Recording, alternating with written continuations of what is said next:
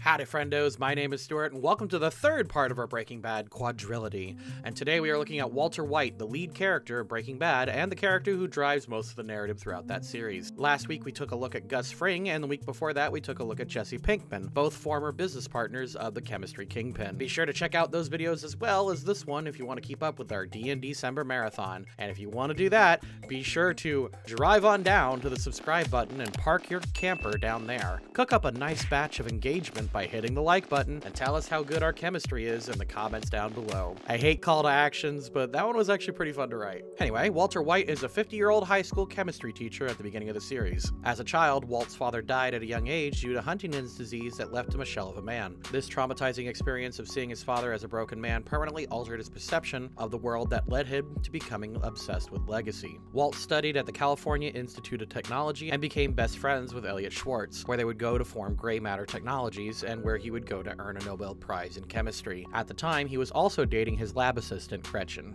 Though they were briefly engaged, he eventually dumped her because she came from a wealthy family and he was unable to cope with the feelings of inferiority due to their wealth and success. He sold his share of the company to Elliot and would later regret this decision later in life when Gray Matter became a multi billion dollar company. This was Walt's second narrative wound as he always blamed Gretchen and Elliot for his financial problems throughout his life, even though it was always his decision to leave Gray Matter Tech. Years later, he worked in various labs but eventually met and married Skyler Lambert and they moved to Albuquerque, New Mexico, where he eventually became a wildly overqualified chemistry teacher. Walt is a genius and a prideful one at that. He knows he's usually the smartest man in the room and has a passion for chemistry that is unmatched by any other character in the series. Walt, at the beginning of the series, is financially struggling and has two jobs and a pregnant wife. He then discovers that he has late term lung cancer and will likely not survive another few years. Lost and looking for a quick way to make money to leave for his family, Walt turns to cooking methamphetamine in order to take care of his family after death. At the beginning of the series, Walt is true neutral. He is a 50 year old man with no direction other than basic survival in the modern age. His passions and ambition have been beaten out of him by his life and his own inability to keep a job. He's also currently financially struggling because of this. This obviously changes throughout the series, but this is where we'll begin. And with that out of the way, let's go. Howdy, friendos!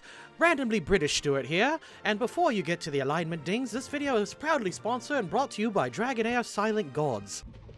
Okay, okay. Just smash through it! Beast! Dragonheir Silent Gods is a multi-platform role-playing game, RPG for those in the know, that will be available on mobile and PC. There's magic lingering on the gate. Oh, dude, this is big brain time. It's also inspired by the world's greatest tabletop game, where you can help feed that inner dice goblin in you. What is day and day noises? Oi! Your heads will crown my honor!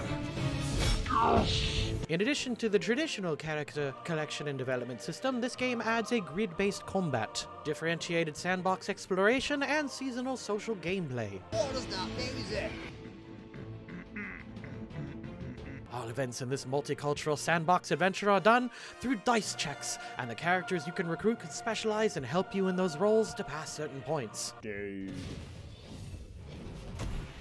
That's rough. But don't take my word for it, play the game yourself in their closed beta, now available by joining their Discord. Go and join the other thousand players already having a great time in the beta.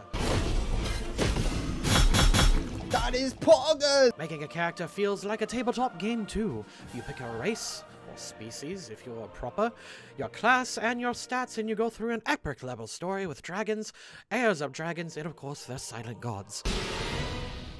No! Oh, box. That is a wonderful part of the game. Join any time between now and January 7th in order to access what this game has in store on your PC and mobile device with the Google Play Store. Join this playtest on Steam. This offer is available to all those in all these locations USA, the Great British Isles, or the UK, the Canada, Australia, also Indonesia, the Philippines, Japan, and Korea.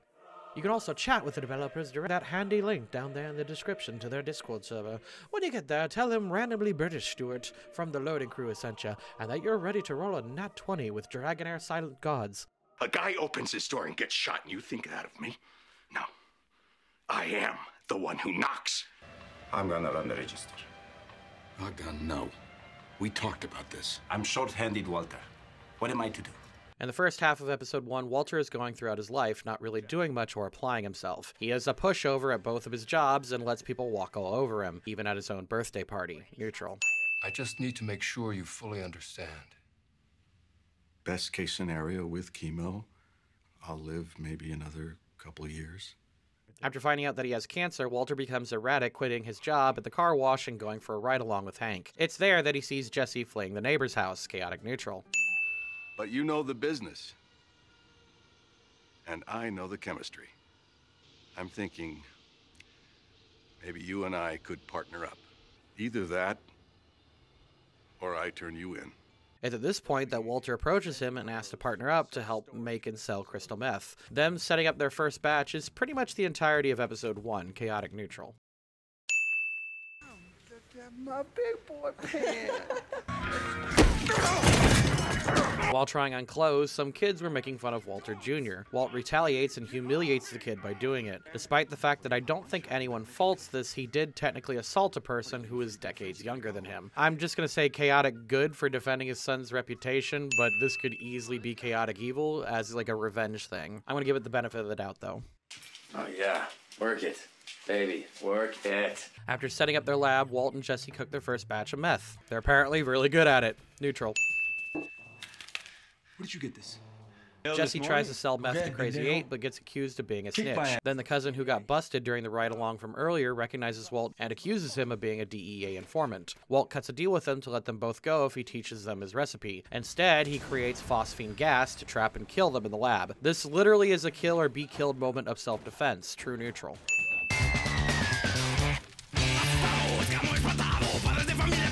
He then goes on to save Jesse by getting him away from the fire caused by Emilio. Neutral good.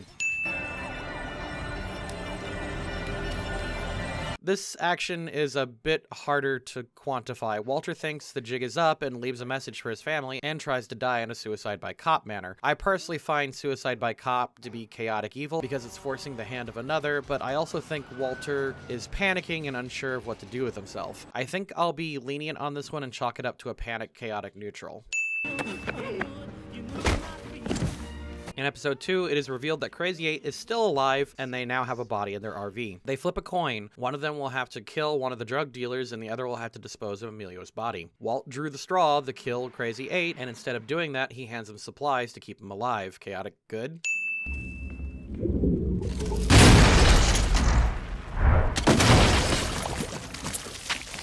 After Jesse flubs getting rid of Emilio's body, Walt helps him clean it up. This isn't an altruistic decision, but a practical one. Neutral. It's no poison. Yeah. So that'd be the way to do it. If you're gonna do it. After that, Jesse pisses off, leaving Walt with Crazy 8. Walter does his best to try to get out of it and free him, not only to ease his own conscience, but he feels it's wrong to kill another human being. He does everything in his power to let Crazy 8 present a case for himself, knowing it's putting him in a bad position. Walter was actually going to free him until he realized that the drug dealer managed to stealth away a piece of broken plate and was planning to shake him. Feel free to disagree if you want, but I say Walt going out of his way to not only give Crazy 8 an option to walk away with his life, despite the fact that he's a drug dealer, and he tried to murder both him and Jesse is chaotic good, even if the ultimate decision is killing him for self preservation. There's something I have to tell you. At the end of episode 3, Walt tells Skyler about his cancer, which bleeds into episode 4. Skyler has a breakdown in front of her family, which leads to his secret ultimately being outed for him. I'm just going to give him a neutral for this. There's an obnoxious Wall Street banker type guy walking around this episode, just being loud and obnoxious on his phone. Walt blew up his car. Totally justified, but still chaotic evil. Oh, look, there's Elliot. Oh, come on, let's go say hello. At the beginning of episode 5, Walt and Skyler head to a party of their rich friends, Elliot and Gretchen. Skyler explains the situation, and they offer to pay for his cancer treatment. Walt refuses because he doesn't want to accept money he didn't earn, and he also believes that they ripped him off and stole from him, so there's that. He then accepts that he wants to die and explains to his family and their intervention why he feels this way. Near the end of the episode, he does eventually decide to accept treatment and approaches Jesse to cook again. This is a combination of lawful true and chaotic neutral, so I'll just split the difference and call it true neutral. Really very therapeutic. Jesse and Walter cook another batch of meth, but Walt quickly realizes that it isn't selling fast enough, so he tells Jesse to go get a distributor named Tuco. The deal goes badly, and they get their meth stolen. So Walt steps in and negotiates another deal. In order to let Tuco know that they're not to be fucked with, this happens. This is not meth.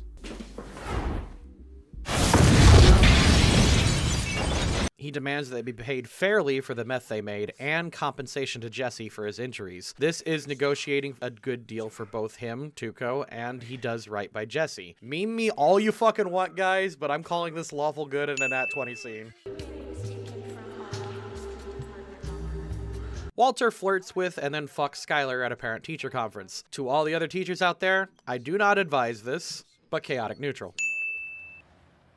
That's it? That's all you got? We had some production problems. After realizing that they would not be able to produce enough meth for Tuco, Walt switches the formula and started creating the blue meth that the show was iconic for. He makes a shopping list for Jesse, most of which could be bought legit, but they realize that they need to steal methylamine blue. Walt formulates a plan to steal it, and they do. Neutral evil.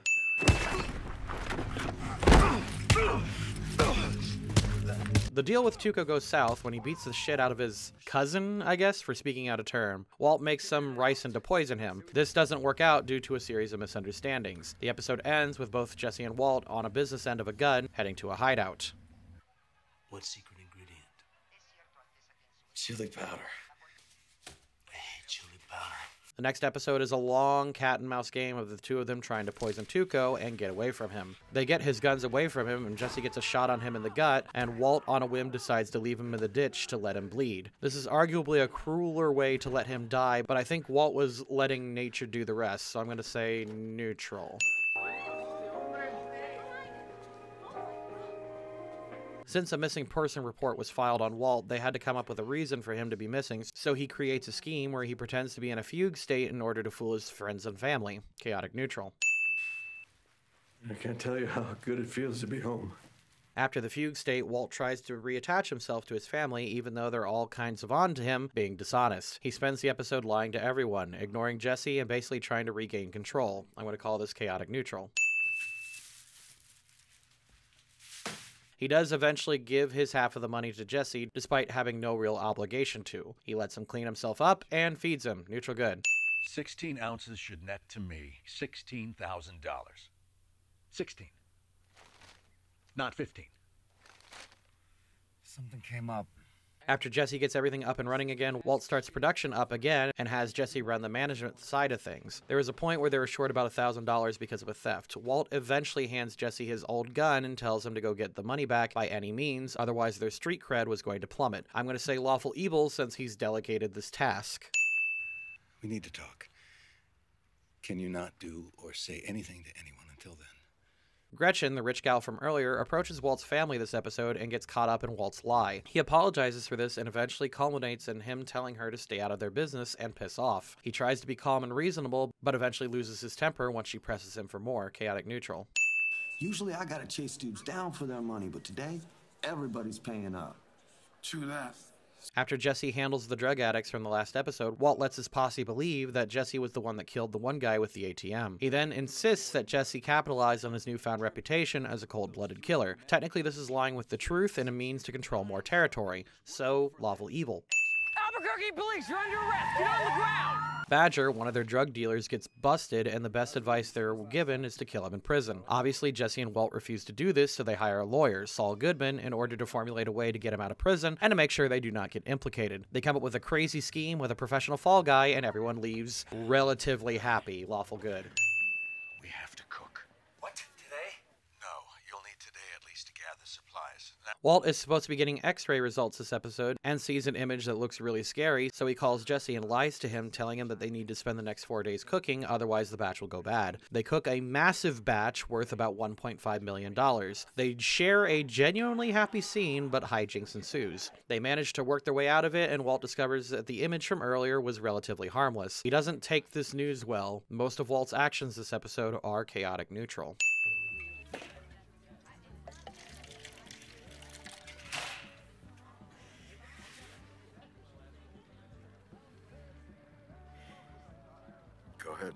Walt kind of goes off the deep end this episode. He gets his son drunk and makes a giant scene at his own remission party. He then goes absolutely ham on fixing the house, trying to make himself feel valuable and manly by using his hands to build things. Let's just give him two chaotic neutrals.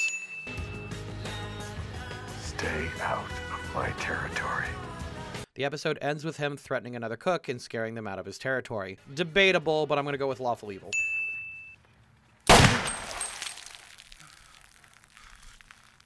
One of Walt and Jesse's distributors gets shot dealing outside of their territory. In response, they decide to unload their batch on a big time player. They appear at the designated location, but he doesn't show. Walt figured out who he was and made a deal to sell him their batch for 1.2 million. He then has to break into Jesse's house to get it, but he does make the deal happen. Lawful neutral. If I gave you that money, you would be dead inside of a week. After the drug deal, Jesse panics and calls Walt, not knowing where all their meth went. Walt lets him stew in panic, but after a confrontation, lets him know that the deal went through. Walt then refuses to give Jesse his half million on the grounds that he is worried that Jesse will spend the money on drugs and that he's afraid he'll OD. He does promise to give him the money after he gets clean, though. I'm actually going to call this chaotic good. If you both get clean. You know what? I take that back. This is blackmail. Because what I know about you, high school teacher turned drug dealer with a brother in law in the DEA, That'd make one hell of a story. Jesse's girlfriend Jane finds out about the bunny and blackmails him. He gives them the cash that he owes Jesse and leaves. After a strange twisted fate where he runs into Jane's dad at a bar, Walt heads over to Jesse's house, confront him, where he accidentally knocks over Jane, where she then gets sick and chokes on her own vomit. Walt sees this happen and does nothing to stop her death. He does this not only to protect Jesse, but to protect his own interests. I'm going to label this as neutral evil, especially since he never tells Jesse the truth about what happened here this night, at least until season season 5. Sit tight. I know who to call. Jesse goes on a bender after Jane's death, and Walt goes out to not only get him out of the drug den, but also to get him into rehab and comforts him at his lowest. Neutral good. Just so you know. Where's your phone? Hmm? Your cell phone, did you bring it? Which one? Walt gets caught pretty much red handed by Skyler about lying and she kicks him out. He doesn't really know what to do, but then a pair of airplanes explode above him. Honestly, this doesn't impact the story much and shows the extent of Walt's actions since it was Jane's dad who caused the accident. He starts to burn his money because of what it cost him, but stops and just sort of goes about the next few weeks or so, just acting impulsively and trying to worm his way back into his family's lives. I'm just going to give this all a big, fat, chaotic neutral.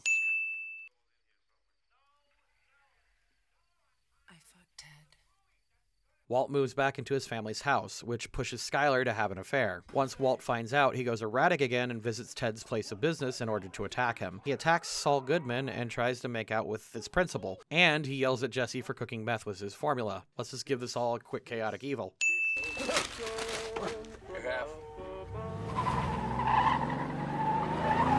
Gus pays Walt his half of what Jesse earned by selling the meth. Jesse gets up in arms about it, so Walt confronts Gus, who offers him a job in making more meth. Walt eventually accepts and gives Jesse the rest of the drug money. Walt also hires Saul to money launder for him, lawful neutral. He's here. Walt's brother in law, Hank, who works for the DEA, discovered the existence of the RV and is on to Walt and Jesse. Walt conspires a plan to destroy the RV, but Jesse leads Hank right to the vehicle. Walt calls Saul, who gives him information and to make up a lie to lure Hank away from the junkyard, where they can quickly destroy the evidence. Chaotic neutral. After the lie he created to get Hank away from them, Hank went and beat the shit out of Jesse. Jesse was going to sue him, but Walt offered him Gale's job in an effort to save Hank's financial life, and as a means to appease Jesse. Granted, Gale gets fired, but seeing as how this is also more out of loyalty to Jesse and Hank, I'm going to say this is lawful good. I need you to sit patiently and wait. I will be there as soon as I can. Two assassins attempt to kill Hank, but he manages to defend himself. This leaves Hank in a hospital. Since Hank is in the hospital, Walt wants to be there for his family, so lies to Gus about production delays so that he can do it. Chaotic good. You're into gambling. Skyler comes up with a lie to explain Walt's sudden massive wealth from drug money. Walt goes along with it and offers to help pay for Hank's hospital bills. Neutral good. She has a point, It makes more sense that I invest right here. For the next few episodes, Skyler and Walt try to figure out ways to launder their money, but within that time, Jesse discovers that the gangsters who shot Jesse's friend Combo from an earlier season works for Gus. Jesse planned to assassinate both these men not only because they did this, but because they are also using a kid as their drug mule. Walter discovers this, informs Gus, and then they work it out peacefully. Later on in the news, Walt discovers that the same kid was killed by the gangsters, leading Walt to do this Nat 20 scene.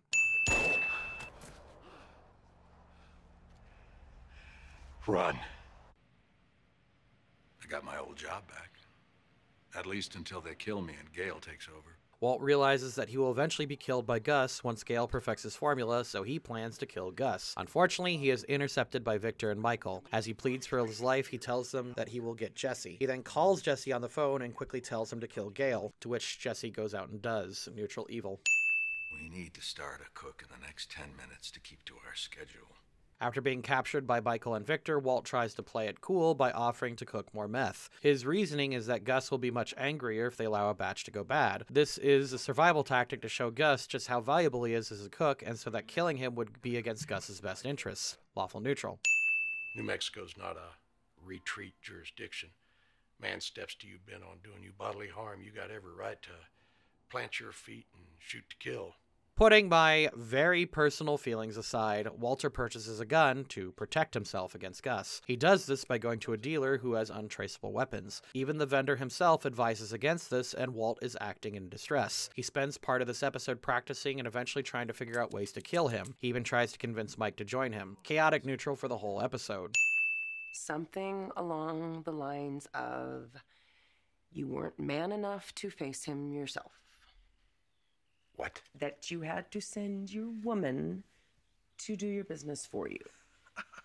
Walt learns that Gus is spying on him in his lab. Walt goes off on this a bit and then gets distracted when he learns that Bogdan insults his manliness. Walt then becomes determined to buy his car wash. Respect, but chaotic neutral. Walter White. You got me. While prepping for a family dinner to announce that they're buying the car wash, Walter is surprised to announce that Hank is consulting on the murder case with Gale. Panicking, he checks it out and tries to prep Jesse like Skyler was prepping their gambling story. Unfortunately, this just causes Jesse to spiral harder, chaotic neutral. Where is he? Once Jesse fails to show up at work, Walt stops everything to go looking for him. He is 100% panicking and acting irrationally, but Walter is willing to ice anyone who- that hurt his boy. Once he realizes Jesse is safe, he goes back to cook. I love you. Earlier, when he was panicking about Jesse, he sent Skyler a goodbye message. She heard it, thinking it was an impromptu, candid message. She gets overwhelmed with emotion and bangs his brains out. Is Walt lying in this message? No. Does he really love Skyler? Yes. Is this sex under false pretenses? I'd argue no, but it is slightly dishonest, but like I'm going to go with neutral. Feel free to debate this in the comments. I I I'm sure other people have strong opinions about this. This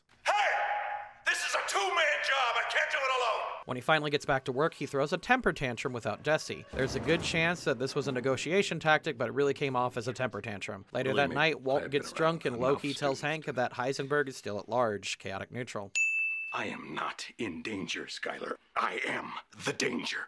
Guy. This line has been memed to death, but holy shit, it is great. It's a moment where Walt finally tells Skyler how hardcore he's gotten into criminal underworld. He does this not only to reassure her, but to show off to himself just how much he's grown over the series. Chaotic neutral. I I think if you're gonna buy me off, buy me off. Walt is not doing great this episode. After his blowout with Skyler, he buys Junior a fancy car. And while Jesse is out with Mike, Walt, in a spout of pettiness, hires a bunch of immigrant ladies to help him clean the lab since he refuses to do it. All he managed to do was piss off Gus and get the gals deported. Chaotic neutral. No, I'm sure he'll see me.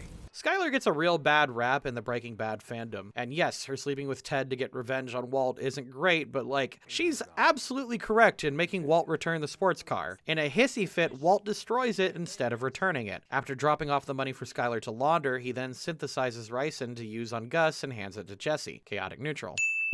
Stick this on the car. This part right here. It's a magnet. And see where he goes.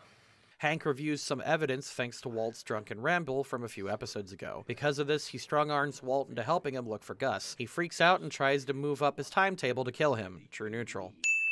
My brother in law, my DE, he. Soon he will probably, in the near future, take a ride out to a certain distribution center to look around for things.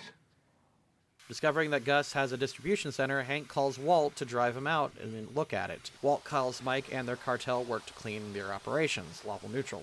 How did you know I was at his house last night?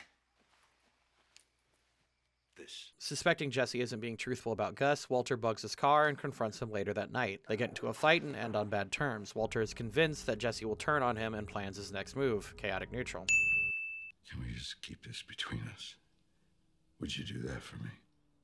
In a delirious state, Walter is found by Junior, who came back to check up on him. Walter says he got into a fight and claims it was over gambling. Junior takes him back to bed and accidentally calls him by Jess's name. He apologizes to Junior afterwards, saying he was on painkillers. The next morning, they have a great heart to heart conversation where he tells Junior about his non existent relationship with his own father, and he doesn't want Junior thinking of him as a weak and dying man. Junior tells him that he would prefer thinking of Walter as a weak man than a liar, which is what he's been doing over the past year. This is an unexpected Nat 20 scene, and I'll explain this more in the post analysis. Neutral good.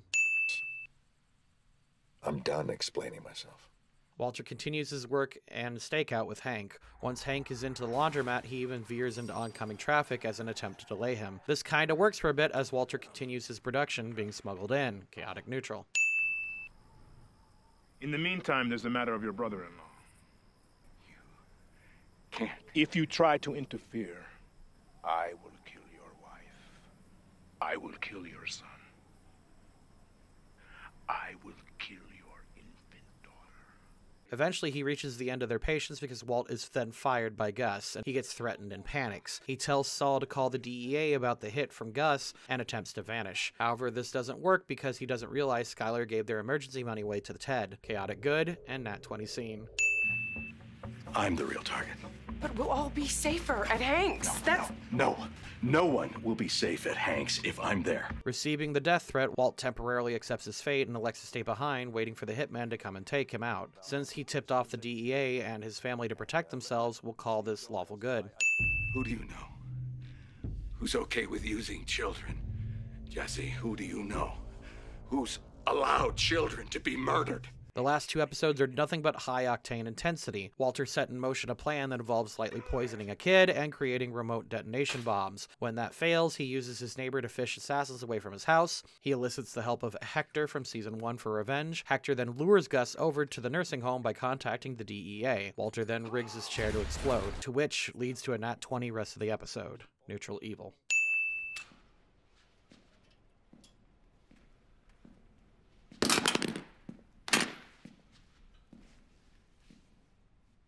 He then rescues his partner and sets the place on fire, and they leave Gus's empire behind. Chaotic good.